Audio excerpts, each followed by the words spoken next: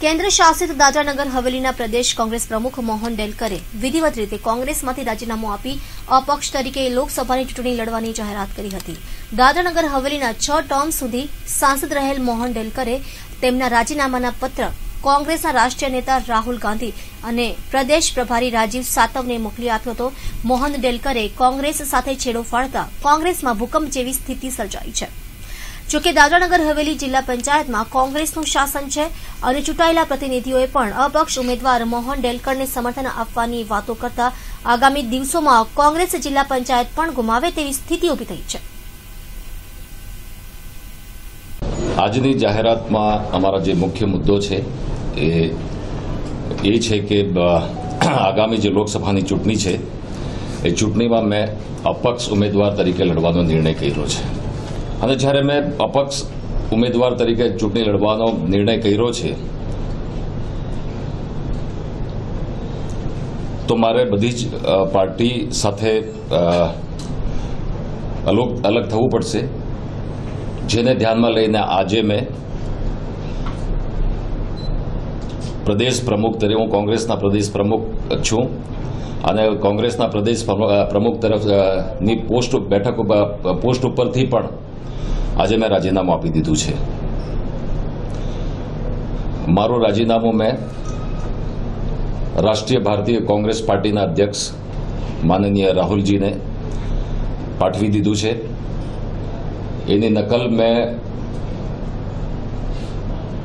અહીંના જે પ્રભારી છે, દાદરા નગર હવેલીના કોંગ્રેસના જે પ્રભારી છે, રાજીવ સાટવજી, એમને પણ એક નકલ મેં પાઠવી દીધી છે. તો પ્રથમ અને મુખ્ય મુદ્દો મારો. આ પ્રદેશને વિધાનસભા અપાવવા માટે હું પૂરજોરશોરથી કોશિશ કરીશ. લોકતંત્ર આ પ્રદેશમાં બહાલ થાય એના પ્રયાસો કરીશ. રોજગારનો ખૂબ જ મોટો આ પ્રદેશનો પ્રશ્ન છે. રોજગારના અવસરો પ્રાપ્ત થાય. પ્રશાસનથી લઈને દેશની સરકાર અને દેશની લોકસભા સુધી જે પ્રમાણે મુદ્દો ઉઠાવવાની જરૂર પડશે, ઉઠાવીને પણ પ્રદેશમાં નવજવાનોને નોકરીના અવસરો મળે, એ પ્રમાણેના પ્રયત્નો કરવામાં આવશે. શિક્ષિત બેરોજગાર નવજવાનો છે. એવી એક યોજનાનો અમલ કરવામાં આવશે. યોજના માટે હું ભલામણ કરીશ, ભારત સરકારને જરૂર પડે પાર્લામેન્ટમાં પણ ઉઠાવીશ કે જે પણ નવજવાન શિક્ષિત છે અને જેને નોકરી નથી મળી એવા તમામ નવજવાનોને ભાઈ બહેનોને સરકાર તરફથી ધનરાશિ, મદદરૂપ ધનરાશિ પ્રાપ્ત કરવાની યોજના અમલમાં મૂકવામાં આવશે. એના માટે હું ભારત સરકાર અને પાર્લામેન્ટમાં પણ રજૂઆત કરીશ કે જે ઉદ્યોગો છે, એમના માટે એક એવી ઠોસ ઉદ્યોગ નીતિ બને કે જેના કારણે ઉદ્યોગોને એક સહાય મળે. ઉદ્યોગની જે કથળેલી સ્થિતિ છે, એમાંથી બહાર આવી શકે. અને હું એ પણ કોશિશ કરીશ કે ભારત સરકારમાં એવી નીતિ બને કે જે પણ અહીંયા ઉદ્યોગો છે, એમને ભારત સરકાર તરફથી એક પેકેજની ઘોષણા થાય. જંગલ જમીનનો મુદ્દો પણ આ વિસ્તારમાં ખૂબ મોટો છે. વારંવાર આદિવાસીઓ આંદોલન કરે છે આ પ્રદેશના. વારંવાર રેલીઓ, મોરચાઓ કરે છે. મારી ઈચ્છા છે કે જંગલ જમીનનો મુદ્દો સમય મર્યાદામાં અને આદિવાસીઓની ભાવનાને ધ્યાનમાં રાખીને, આદિવાસીઓની મુશ્કેલીને ધ્યાનમાં રાખીને એ મુદ્દાનો હલ હલ કરવામાં આવશે. સરકારી કર્મચારીઓ પણ તણાવ અને ભયના વાતાવરણમાં આજે જીવે છે એવો અમને અહેસાસ થાય છે. એના માટે મિત્રો, હું ક્લિયર કરીશ કે આ પ્રદેશમાં જે પણ સરકારી કર્મચારીઓ છે, એમની એ જે સ્થિતિમાં આજે જીવે છે, યા રહે છે,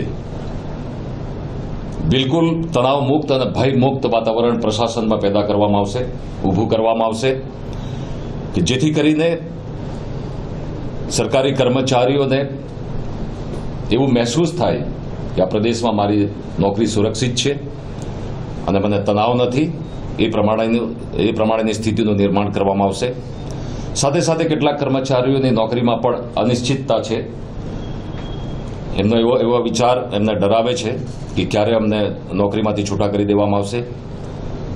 એવા કર્મચારીઓને પણ આપણા, આપના માધ્યમથી હું સંદેશો આપવા માંગુ છું કે પ્રશાસનિક વ્યવસ્થા એવી કરવામાં આવશે, રજૂઆત એવી કરવામાં આવશે કે જેથી કરીને સરકારી કર્મચારી જે નોકરીઓમાં છે,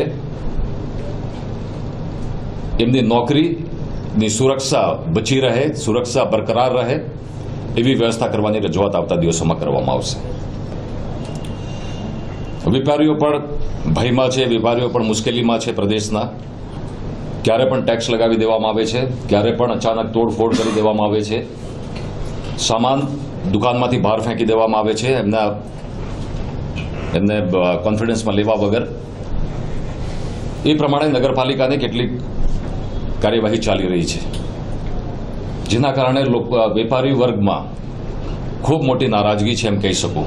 કારણ કે વેપારીઓ એમ માને છે કે એક તરફ ઉદ્યોગ છે તે મુશ્કેલીમાં છે અને જેના કારણે વેપાર પણ, વેપાર ધંધા પણ મંદીમાં છે. આજે વેપાર ફક્ત ત્રીસ ટકા થઈ ગયો છે. અને એના સામે પ્રશાસન યા નગરપાલિકા બસો ટકા, ત્રણસો ટકા, ચારસો ટકા ટેક્સ નાખી દે. તોડફોડ કરી નાખે, સામાન વેરવિખેર કરી નાખે. પ્લાસ્ટિકના નામ ઉપર દુકાનોના સામે એફઆઈઆર કરવામાં આવે. વેપારીઓને જેલમાં મૂકવામાં આવે. આ જે પરિસ્થિતિ બધી છે, એમાં વેપારીઓ ખૂબ નારાજ છે. વેપારીઓ મુશ્કેલીમાં છે. એ બાબતે પણ ગંભીરતાપૂર્વક લોકસભાની ચૂંટણી પછી ધ્યાન આપવામાં આવશે. ફોર સિક્સનો મુદ્દો પણ અહીંયા જે અમારા પરપ્રાંતીય છે, ઉત્તર ભારતીય સમાજના જે લોકો છે, એમના માટે મુખ્ય મુદ્દો છે. ઘણા વર્ષથી પેન્ડિંગ છે. હાલના જે એમપી છે, એમણે પણ એમના માટે એના માટે એસ્યુરન્સ આપ્યું હતું. વચન આપ્યું હતું. હલ કરવા માટે પણ કરી શક્યા નથી. જે મુદ્દે પણ જે બાબતે પણ ધ્યાન આપવામાં આવશે. હું કોશિશ કરીશ કે ફોર સિક્સનો મુદ્દો આપસી સમજૂતીથી યા યોગ્ય વ્યવસ્થાથી નિરાકરણ આવે એ પ્રમાણેની હું રજૂઆત કરીશ. આ તમામ મુદ્દાને લઈને અપક્ષ ઉમેદવાર તરીકે ચૂંટણી લડવાનો મારો આ નિર્ણય છે. સાથે સાથે હા સાથે સાથે મેં મારું રાજીનામું પણ રાષ્ટ્રીય કોંગ્રેસ પાર્ટી રાષ્ટ્રીય અધ્યક્ષને સોંપી દીધું છે. સાથે સાથે હાલના એમપી આ હાલની સરકાર પણ એમ દાવો કરશે કે આજે મેડિકલ કોલેજ છે, સરકારી કોલેજ છે, ઇન્ટરનેશનલ સ્ટેડિયમ છે, પોલિટેકનિક કોલેજ છે. એ લાવવાનો દાવો એમપી સિટિંગ એમપી કરશે, સરકાર પણ કરશે. પણ મિત્રો, તમારી સામે ખુલાસો કરવા માંગુ છું. કે મેડિકલ કોલેજ ઇન્ટરનેશનલ સ્ટેડિયમ, સરકારી કોલેજ, પોલિટેકનિક કોલેજ, આ તમામ પ્રોજેક્ટો બે હજાર સાત અને બે હજાર આઠની અંદર.